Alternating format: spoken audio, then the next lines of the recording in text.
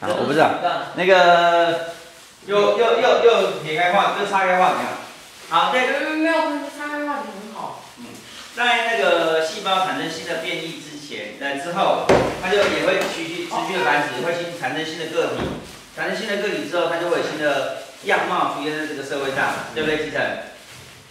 这样对这个世世界是好的是坏的？有好有坏。不知道哎，不好有坏吧？有好有坏，因为有那个进化有进展嘛。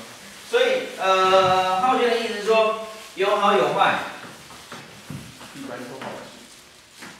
好的部分就是因为它有进化，坏的部分是它没进化。那坏的部分是什么？没进化。呵呵，搞不好进化就是世界永远停在一个角。对，进化就变成一个新的生物嘛，没有错。有没进化就哎坏了。进化变更强的话，可能会灭绝另一种生物。呃，那是另外一个说法，会变灭绝另外一个新生物，有可能灭灭绝别的生物，然后它变成新生物。但是为什么进化就是好的？它坏的是什么？进化。什么是坏的？坏的是进化。退化。坏的是进化的。退化。突变。灭族。坏的是退化，有人这样说。坏的坏的也是进化。所以如果这样讲的话，进化是有好有坏咯。进化可以是好，也可以是坏，是这样的吗？突变有可能变成进化，有可能变成退化。OK，突变，突变有可能是进化，也有可能是退，哎，退化，是这样的。好，这没有错哈。突变，那什么叫退化？什么叫进化？什么叫退化？什么叫进化？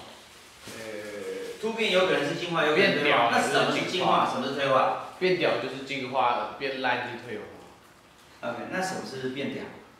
什么是变烂？啊，飞更会就是会让别人更佩服他，就是变。进化才能不一定到。被被邱金总羡慕，被蚯蚓羡慕叫进化。对。然后蚯蚓会羡慕吗？蚯蚓羡慕你什么？应该更羡慕。他羡慕我有十根比他还要是吗？为什么觉得他会羡慕你有五根手指头、十根手指头？你如果是环境本身是小，那是那是你用你的想法就开始像人有些人会想。有人会想当一天，那是你在羡慕吗？有可能有些人呢。所以你会认为说鸟对你来讲鸟是进化咯？有可能。对某些人来讲会变得小。对某些人来讲，有可能会被被拉鸟是进化，鸟会飞是进化，是这样吗？那会不会鸟会认为说哦，会在水里游泳的是进化？都会有可能。蟹是退化。那问你啊，鸵鸟。对啊，是有进化。鸵鸟它可能说会飞的鸟变成不会飞的鸟，像鸵鸟变成不会飞的鸟是进化还是退化？进化吧，它腿又强。它腿力更强，是进化。啊，是退化怎么说？哎，退化是一种进化腿力。退化怎么说？你刚刚那个浩军说退化。它翅膀不中用。退化，它翅膀变得没有用了嘛，变得不会飞了嘛，是退化。那像四肢四肢动物变成慢慢的，哎，猴子的四肢，它手可以拿东西吃，脚可以拿东西吃，是进化还是退化？进化。是进化吗？那他退化什么？他丧失了什么？呃，退化是奇怪的生物。蜥蜴畸形动物，还是会有人开发出来的名字。那像如果有人说人类是从猿人变成的，那进化是进化在哪里？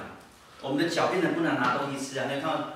光秃秃。啊，但有人是用脚拿东西吃啊，比如有些他因为天生没有手，他习惯用脚。变得更保守是吗？他的脚拿不起。变得光。没没有，他们可以哦，他们他们从小，因为他们没有手，他们从小训练自己的脚，他是可以拿东西吃的哦，还可以作画，还可以开车。我看过有个妈妈，两个点。康氏家。她有个有个妈妈，她天生就是没有手，所以她她后来结婚了，生小孩，她所有的行所有的行动，她都可以自己有，她可以用脚穿衣服。哇。然后用脚去照顾 baby，煮饭。哇。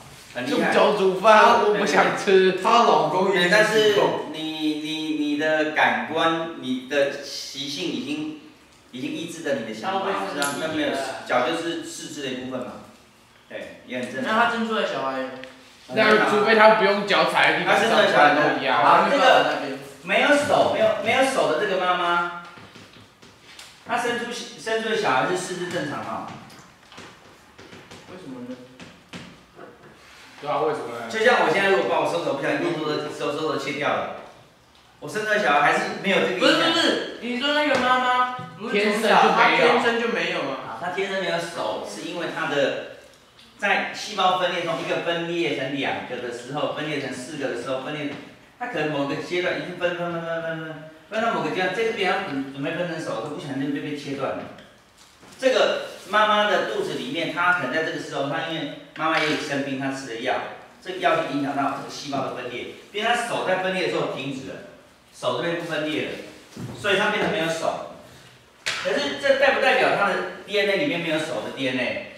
不代表吧？不代表啊，所以他的小孩是可以手啊，懂吗？所以我们的 DNA 的 DNA 的存在，因为 DNA 储存的所有我们人的性征。我觉得他可以开一个班，然后去教人家如何使用脚。呃，有时候这很难啊，就是说，我前两天跟跟一个同学讨论说，眼睛瞎掉的人，他怎么去学习？眼睛瞎掉的人他怎么学讲话？有没有？像我们听过最有名的就是海伦凯勒嘛，听过这个人吗？啊，听过，嗯，那个又聋又又盲又哑，海伦先这个海这个完全没有用。海伦先注师，我知道，听不到看不到，他是无法讲话了。海伦凯勒他是一出生他是被诊断是又聋，又聋呃又盲又哑。我就不是不是一出生吧？应该没有哑吧？对，但是但是应该只是因为耳对，但是他的哑不是真的哑，是因为他听不见，所以他没办法讲话，他不会学习讲话。他我记得不是一出生吧？是有一次小时候生病就是这样，但是他很小的时候啦，当然很小的时候，所以它几乎是跟出生是一样的意思，就是说，因为你从小就没有的功能，所以你的智你的脑袋会很厉害，是帮你强化其他功能。所以他的人这个海伦凯勒，他对震动都非常敏感，他对空气中的震动、对这个东西的震动都非常敏感。我本来以为，我本来没办法想象说这种敏感敏感到底有多敏感。你们有看过一部电影叫做那部电影评价很很差，叫《夜盲侠》。来，超自然的震动，听过吗？夜盲侠。没有，我听过超自然的震动，听起来就很夜盲侠是眼睛瞎，但他是个他是个叫做什么？叫做超级英雄，是不是？就是超级英雄 super 就是美国不是他们很多影集，就是像超人啊，像蝙蝠侠，像这个，我哦，你说那个漫画那种的，对他们就会去帮助别人蜘。蛛侠，蜘蛛蜘蛛从漫画啊，蜘蛛人。对蜘蛛人。有那？这个人夜盲侠呢，是他本身是天生眼瞎，然后他去感受这个世界呢，是纯粹靠声音。所以当雨下雨的时候，那雨滴打在你的脸上，他脑袋里面就会出现你的影像。因为你的雨那个雨水打在你脸上，是不是会有震动？那个震动会跑到他耳朵，他光靠这个震动，他可以感受这个人的影像。像为什么那如果他撑着雨伞，那个对对对，你撑着雨伞的话，就听到那个雨伞的样子，他人的影像就消失，但是会出现一个雨伞的形象。所以他脑袋里面可能会有个影像，但是那是那也是导演的想象啊，编剧的想象。但是那个画面让我觉得说，哦，原来我就感觉是原来并不就是眼睛瞎这样，他虽然没有视觉的，但是他的视觉用别的东西来取代了，他用另外一种感感感官来取代。海伦凯勒也是一样，他怎么学讲话的？然后在那边，他实际上是他他那个老师抓海伦凯勒的手去摸他的喉咙，你讲话之后喉咙会震动吗？对不对？那你讲不同的话，实际上震动不一样。可是我像我自己感觉，我自己讲话，我没有感觉别的差异。比如讲说小狗、小猫，小狗，我感觉起来这个震动是一样的啊。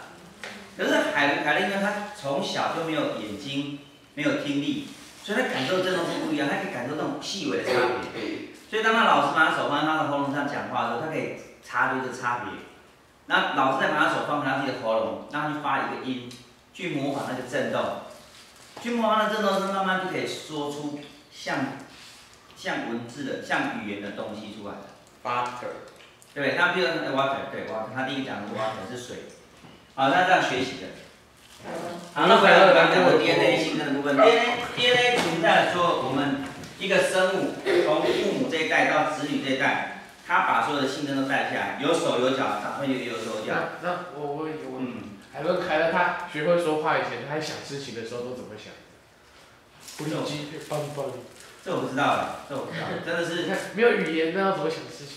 嗯对你讲的，你你讲的非常好，对，没有语言之后怎么想事情？呃，可是跟我小时候小婴儿学问题就会想，哦，哭！我们也不知道小婴儿怎么想事情的、他肚子饿的时候他就用哭的，可是他对肚子饿这件事情他怎么描述？但是脑袋里面怎么描述这件事情？这这是一个很有趣的题目啊，我觉得猴子很厉害。就我们其实很多很多精神学家或者科学家他们研究说，到底人的脑袋怎么去运作这件事情。比如，因为我们会讲会讲话，所以你有时候做梦，你实际上可以听到语言，会听他讲话对话，就有对话。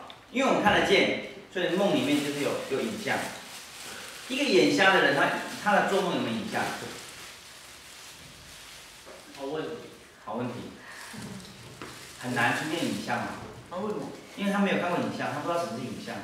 哦，如果他出生就眼睛就是而且也没有声音。眼睛盲跟声音盲，如果一个出生就眼盲，他但是耳朵是正常的话，他听得见声音，他的世界里面有声音，但是他没有没有颜色，没有形象。啊如果只是眼瞎，那应该还可以问问看他做过有没有影像。对，是无对但是法想象啊我我没有这个机会碰到这样的人跟他讨论这事。我碰过一个人啊，但他眼瞎是那个大概国小以后才眼睛瞎掉，所以他说他做梦的时候是有影像的。我问过他，他说他做梦的时候是有影像，就看到一些情景这样，但他就有些心中他没办法想象。他为什么眼瞎？他车祸，哦，哎，我想要国小被霸凌。平常不会想对吗？啊，眼睛闭着都。有人跑去当不会啊，因为他其他的其他感其他的感官它一样是会发的。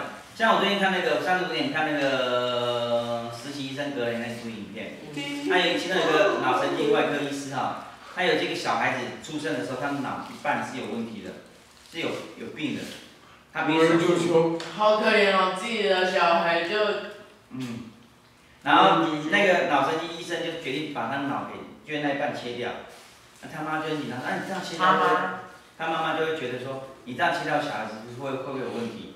那医生劝他说不用担心，他还很小，他的脑还没分化，就像你的细胞一开始还没分化一样，脑的功能还没完全分化，所以就是把一半切掉了，他其他部分还是可以继续分化成他他需要的功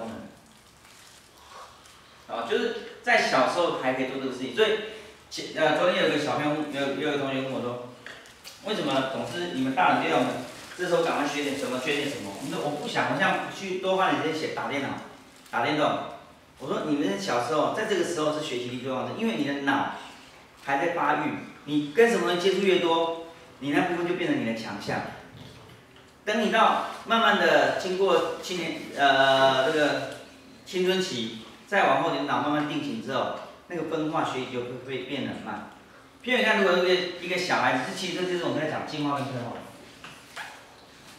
我们在小小孩的时候，你看，就有呃，我曾经看过，我那时候我们家儿子，他手被就是去弄到受伤，那两三天就愈合就好了。可是你看年纪大了之后哈，那个受伤有时候一个礼拜、两个礼拜，愈合的程度都没有很好。然后如果你不去管它，就变成那个什么破伤风。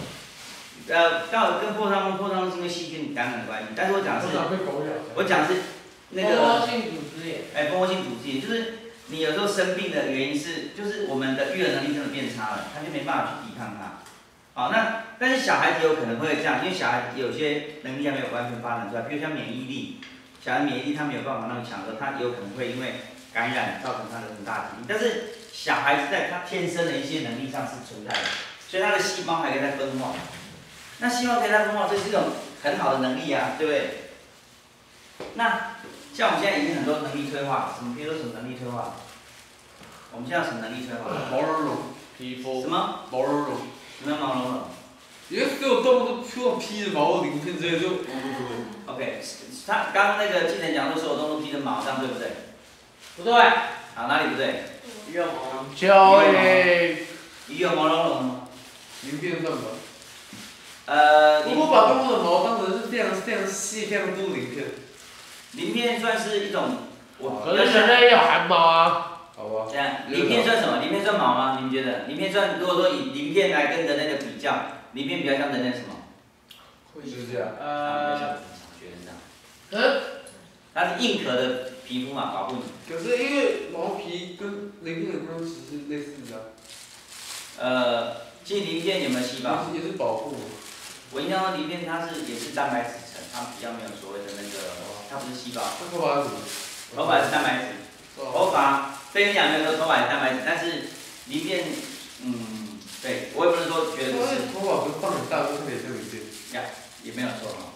其实基层这角度来看也是，我们头发如果把它放大来看，头发一层一层的，应该只是形状跟硬度不同。其实那种东西就甲壳类动物，托尼莎，你知道的太多了。甲壳，甲壳类也是啊，甲壳类它是把皮肤转换成硬壳哈，在演化过程它把把它需要的那个皮肤它转化成硬壳保护它自己。还有恐龙的没好，比如说像乌龟，乌龟的壳也是皮肤的一种啊。恐龙有鳞片吗，蜥有鳞片。对啊，啊没有毛，刚我在讲有一个鳞片。对啊，他刚刚讲说，呃，所以说你你你刚刚讲是人类光秃秃也不是啊，人类还是有头发，也是啊，它是对稀疏还有点稀疏的毛啊，还有人类还有什么东西退化？可是如果人类全身毛茸茸，你会觉得这是比较好的吗？如果你认为是退化，表示我们是唯一有穿衣服的恶心动物。裸体主义。哎，对，我们是唯一有 POV 在身上。这是这是一种，就是我们被教化的影响啊。我们被教化之后，你会认为说，好像不穿衣服是一种很恶心的事情。不会啊，很好啊。啊，OK OK，好。对，所以这是一种呃，我们的脑是不想看男人的是好看一点，不是，但是其实这是这是一种呃自然的情形嘛，就是那种保护别人眼睛的权利，我一点都不想要看。可是你没被教育到的话，你会觉得还好啊，就觉得这不会伤眼睛的。有讲，些人啊，如果如果从小就全家都多光光那点点点边，点点，OK，我们可以这样讲话。停，我们这样讲话听不听？我现在好太。超过了。我是主席，所以请你们尊重我的，说谁可以发言，好不好？来，抱歉。我也是搞不懂蜂窝性组织炎的。哦，蜂窝性组织炎就是你比如呃，说就拿会把一些到你到每继承。如果你想解释，请你举手，我让你解释。如果你不想解释，现在是我我的时间，好好好。好不好？我没点到你就先不要知道的太多了。小猴子。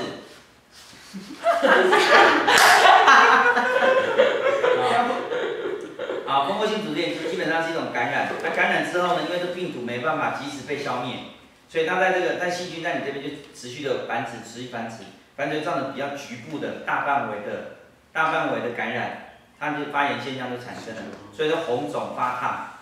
那这个部分蜂窝性组织炎如果继续往下发展的话，如果你的身体的抵抗力一直没有起来的话，它会变成败血症，那大家很快就死掉了。上次我们看影片。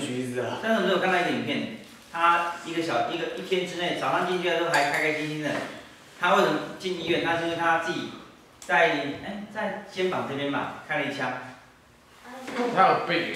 对他有病，然后他去医生，他去看医他去医院的时候，他说我是摔跤选手，我最我我我最厉害的就是可以抵抗疼痛。我我我为了证明我能抵抗疼痛，他全身都是刺青，然后他说我现在在收集枪伤，所以我自己打了一枪。哎呦，然后这个你看，这是疤痕是独一无二的，很厉害，我很厉害。他跟那个医，他就被医生炫耀，啊，医生就帮他处理枪伤啊，弄弄完了，他休息，还在跟医生开玩笑。早上的事情啊，下午手术完都还在开玩笑。到傍晚他开始发，他开始全身发抖，发烧，很冷。医生说你怎么回事？他赶快检查枪，都没有事情啊，都很正常。一验血，白血球突然暴增，白血球突然暴增的现象就是说你身体有发炎的现象。你白血球要治大量制造白血球去攻击你的病毒。他为什么突然发炎？他们检查枪伤都很正常。白血球他说你你有没有哪里痛？他说我我的脚脚很痛，就会打开一掀开看，他脚有个刺青在发炎，肿了。他说你你什么时候刺青的？他说我昨天下午就刺青的。那刺青可能那个刺青那个针啊没有没有清洁没有消毒干净，所以那针上面有细菌，所以他刺青完之后他整只脚已经肿起来了。然后已经败血症，就是蜂窝性组织炎都已经过了，都并已经直接进到败血症。你看他全身都是血，对，大概两个两个多小时，那个人就死掉了，根本来不及救。啊，因为他的他那个细菌扩散到全身，所有的器官都已经开始衰败了，器器官都已经没办法用，所以器官没办法用，你败血症严重的话，整个因为它随随着血液循环嘛，到全身去，你所有的器官就整个就就坏掉，所以他一下就死掉了。所以那个医生也很感慨啊，感感慨也很感慨说，早上进来都活蹦乱跳的，很厉害啊，我很强，我很厉害，我是摔跤选手。到下午就因为一个败血症，就一个细就一个细菌感染就死掉了。我跟艾滋病。所以你看人类到底是很强还是很弱？就细菌这么小的一只细菌，我们都打不过，对不对哎基层，他老人有自信。？OK，好，所以。变胖。超好，所以我们上上礼拜讲了一个，到底是进化或退化，纯粹是看你的观点啊、细胞的突变、细胞的转变，并没有什么好或不好，只是看你能不能因为这改变。那你干嘛问我们好还不好？你很奇怪，你是故意的啊！看看呢，我就故意要问他。你这个人真的是很可恶。对对对，故意要问，就是这个好坏，纯粹是因为看你对面后面的生活的改变、环境的改变，你能不能适应下来。如果能够适应，它能帮助你适应是好事；如果不能帮助你适应是坏事。比如长颈鹿，所以在这部分哦，在这个学说里面就有人提啊，豆豆有一个有一个说明叫做用进废退说，有没有听过？用进废退，听过没有？用进废退。对啊。用用进废退说，你常用的就会进步，你的下一代就会越好。废就是你不用了，它就越来越退化，就会不好。等一下，下一代也会被你遗传到。这是说法。就比如我喜欢跑步，我天天跑步，所以我脚变得肌肉很发达。然后嘞，下一代就然后但是我的下一代也会变得肌肉很发达。是这样吗？我问你是不是这样？不是吗我？觉得是啊。也是，所以你觉得，你头脑简单，下一代也头脑简单。头脑简单可能是遗传，这没有办法。一家但是，可是焦杰他爸还哎，还这个做还蛮有钱的啊，他停，头脑简单跟你用进废没有关系嘛？用进废，你你头脑简单，并不是你都不想坐在那边，所以你都长大，你的小孩生出来都不会想，并不是这样子啊。那那那笨笨蛋他生下来还能是笨蛋吗？还呃，是有可能还是笨蛋也可以生聪明的？其实我这样认为啦，我们讲说笨蛋聪明，这个是跟进化退化是一样的概念，就是一个人的脑袋里面，我们如果说分不同的能力来讲，很有数理的能力、数学的能力，很有文字的能力，很有图形的能力，很有逻辑的能力，可能有运动的能力，可能有什么能力什么能力，有很多种不同的区至少块。也说了每个都不好。好，你认不认为有一个人是所有都很强，啊，所有的能力都很强？我觉得有点会。有吧？基本上我都还没遇过。嗯。我没有遇过都很强，我真没遇过。啊，我遇过文字能力很强的，他会写文章的，而其他东西都是还好。我遇过数学能力很强的，可是人际沟通能力很差的。嗯，搞不好我遇过逻辑能力很强的，好像猴子逻辑能力就超强。对，可是其他能力就是还好。我不是说猴子还好，我说其他都是那个，所以有些能力还好。我遇过逻辑能力很强的，比如像继承，像像像雨龙，对，像猴，呃，像像小薇，可能图形能力很强，但其他能力可能就还好。还好还好还好运动能力很强的？好，运动能力很强的，我还有其他选项吗？对，可能其他能力不怎么样。所以我大部分遇到啊，就是这样我是怎样？你那些玩渣渣。你的反应很好啊，啊？屁。嗯，对不对？你的反应很好，灵敏啊，那个不是反应，那是习惯。那习惯吗？因为他并不需要突然来一个东西，他就要反应啊。没有没有，那那是那是反应。你在他只要一做一样的动作，那是需要你当下那个杯子的状况，你都要去反应它，并不是说只是习惯而已啊，不是这样他每。次都点一你样的啊。如果没有反应力的话，那你要怎么超越自己的速度？对对，那是需要反应的力。手变得好，快停，不，你你不相信，你可以去试试看。反应就是像我，像我现在去玩玩 L O L，我就没办法反应很好，因为手指很慢。对啊，因为是我说 L O L 很多突然会蹦出来的但是。但是，我相信。头等你很久停停停，要发言的请举盖手，请举手发言。啊，是你说。好，我相信我相信那个徐普，他玩 L O L，他的进步的情况啊，会比我好很多，比别人都好很多，比一般人比一般人他们都故意的，比一般人好很多。因为他的这边反应比较快，他在这边反应比较快。有，我觉得他进步。继承猴子，拜托举手发言。啊，好，所以我不认为说什么是天才，什么是笨蛋，什么聪明，什么是笨蛋，因为每个人都有某一方面的能力。只是过去呢，我过去我们会认为说，我们会认为说，哎呀，你在文字能力处理很厉害的，数理能力处理很厉害，表示你是聪明的人。你会跳舞没有用，你会打球没有用。对，可是不是这样子的啊！这世界上需要各种人才啊！你会处理文字，处理。你会处理文字、处理数学，只是一部分的能力，不代表你就是特别聪明。肯定过去的我们的教育的习惯，会把这样的人当成就是聪明人，啊，但这是一种不同的思维哈。交杰超蠢的啊、他没有，他完全没有用处，至少目前看起来。啊，没有举手拜服一名啊。来，用心面对，你常常用，因为我常常用手，我手背很强。我生出来小孩，就你手背很强吗？我的 DNA 因为我常运动，我的 DNA 被我改变了吗？有可能，但也不太可能。我 DNA 会被我改变吗？哇会啊，好可啊，怕。不太容易哈，不太容易改变，不不太容易改变 DNA。所以我的小孩生出来，我的小孩不见得手背很强，他手背很强，他要经过训练。但是有个状况是这样子哦，比如同样是 A 跟跟我，我们两个一起去做训练，可是我肌肉长得很强，他肌肉长不出来，有没有可能？有没有可能？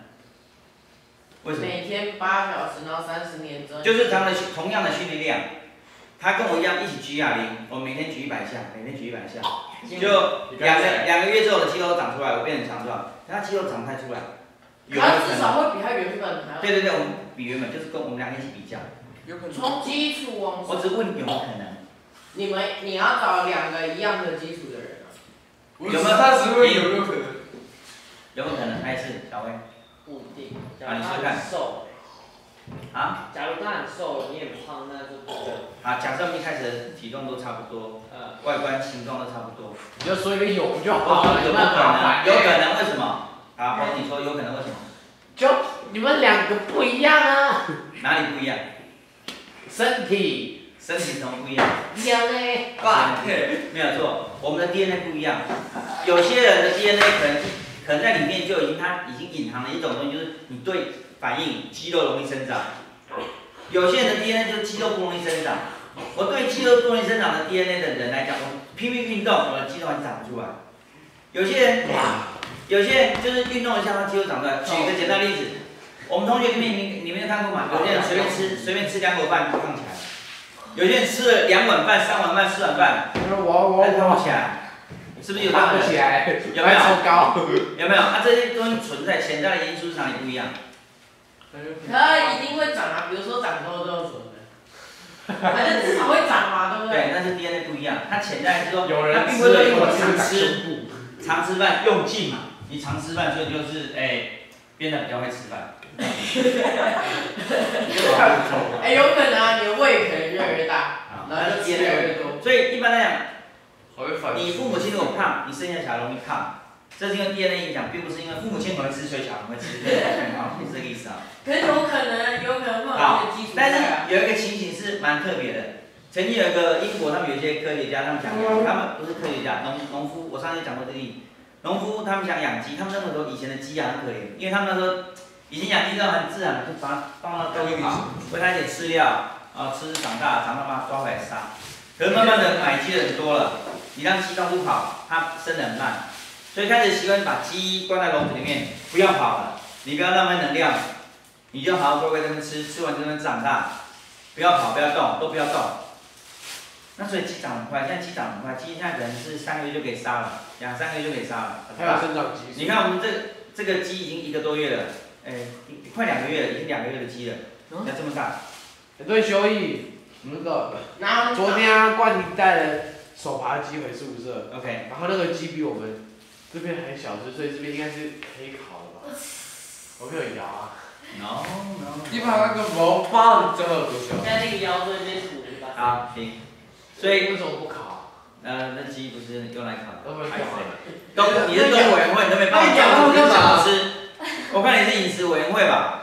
啊，有东西吃了吗？你要的太多了。我先先，我我想，我啊，等下我们再讲这实验啊，我现在做的为实验。什么说会拿进去加菜？停，好，我讲那个英停，停，英国那个农家他们做一个实验，他说，哎，以前的鸡本来是野放的，后来把鸡慢慢抓回来养，变家禽嘛，后来把它关在一起养，因为他不希望它跑来跑去。所以它还是会走路，但是它不变一个事情是它不会孵蛋。以前鸡在野外，它是要自己筑巢、自己孵蛋，对不对？鸡小鸡、大鸡生小鸡嘛，生鸡蛋了，鸡蛋孵成小鸡。可是它关在笼子里面之后，它甚至下蛋，农夫就把蛋蛋拿去吃，卖卖掉拿去吃了。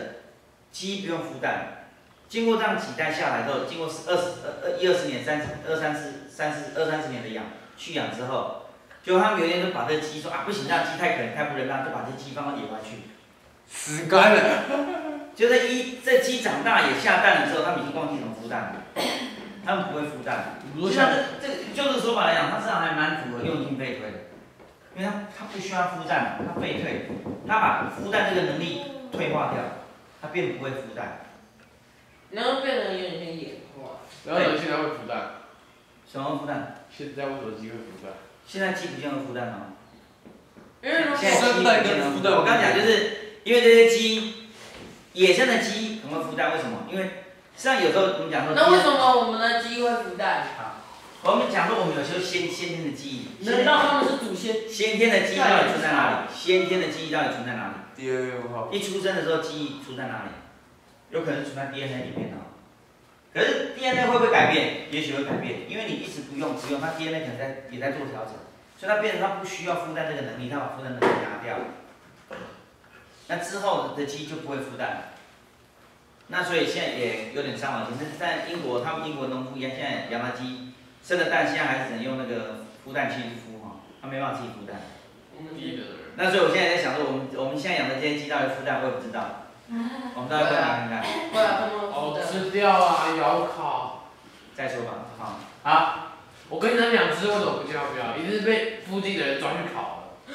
啊，附近谁？这边这么多人，他们那边庙那边还有多多人还会唱卡拉 OK，一定被抓去烤。达尔文后来观察某一个小岛上的生物状况，他后来提出另外说学说，他说我们事实上我们会有这么多不同形形色色的动物，事实上不是因为用进废退，事实上是因为天择。什么天择？天就是老天嘛，老天的选择。什么叫做老天的选择？譬如有一群鸟，它到一个新的地方，因为这个呃以前的大陆有通，它就飞过来这边，又后来大陆不通，它就飞回不去。那比如这边，那这些鸟的嘴巴可能很长，长嘴巴通常比较适合吃虫。啊、那可是这边没有虫，虫很少，这边有的是坚果、果实、种子这些东西，它变成它必须改变自己去吃吃吃这个种子。可是长嘴巴的不太适合吃吃种子啊，所以它就容易饿死，或者它没有竞争力。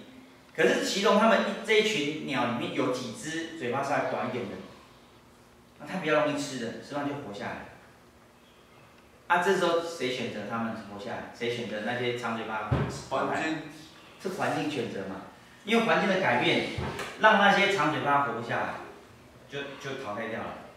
好，那所以那些短嘴巴慢慢就趋于繁殖，繁殖，哎，这可能又繁殖就是长出，哎，嘴巴更短的，啊，有些长得还嘴巴 短嘴狗。对，所以你看像鹦鹉有些长嘴巴的，或者有些像那个，譬如说像鹦鹉，鹦鹉嘴巴就是那种很硬的、很厚的，它适合吃种子的。因为我真的会说话。鹦鹉对，你有听过吗？啊，你有听过吗？我有听过。对我还没听过哎。然后，然后这个天择就是这样，就因为经过环境的改变，它所有物种经过一个大量的不管长时间的一个演化，它可能也会突变，突变慢慢去繁殖。可是有环境变化，环境变化之后呢，有些适合活活下来，有些不适合活下来，就又有些就被淘汰掉了。那简单来讲，我们来举长颈鹿的例子，课本上有长颈鹿的例子。长颈鹿的例子，如果用用进配对说的话，它怎么说的？呃它为什么变长脖子？呃，像是树上的东东，等一下，那我记者你说清楚一点，怎么说？吃树上的东西吗？吃树上的东西，啊，吃树上的东西，然后嘞，有可以看比较远可以看比较远。所以长颈鹿说大家一起讲说，我们要吃树上的东西，我们要看得比较远，所以大家开始努力把脖子给拉长。给。是那个小被妹，吃完就是高。呃，短的矮的地方都吃完了，是剩高的。然后嘞，然后就就饿死了。谁饿死了？我短脖子饿死。所以这是用心配对吗？这嗯，是用心配对说的概念吗？对，嗯。算进化吧？这算天择吧？你讲的应该算天择吧？啊，这附近矮一点的植物都被吃光了，只剩下高一点的植物，所以高一点的植物脖子比较长，吃到高一点的植物，所以高一点的活下来，那脖子短的死掉，就天择，对吧？是老天的选择嘛，环境的选择。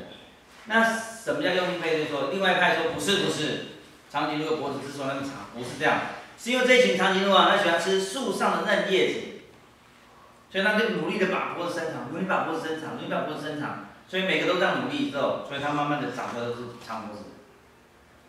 那如果用这两个说法，你觉得哪个比较合理？我觉得有可能是他们，啊，我觉得都有，都有，所以你认为努力可以遗传给下一代有可能，也有可能是他自己淘汰掉。？OK，好，有可能有一次有一只绵羊跑到树上，预制破片。好，这件事情就麻烦各位回去思考一下，这是今天的作业。上次的学单还没还给我的啊、要赶快记得写啊。家来，人吧？我绝不要。你需不需要？你要电脑，你要用电脑打，用用那个。我们来，啊，你那你是不是有男主角承认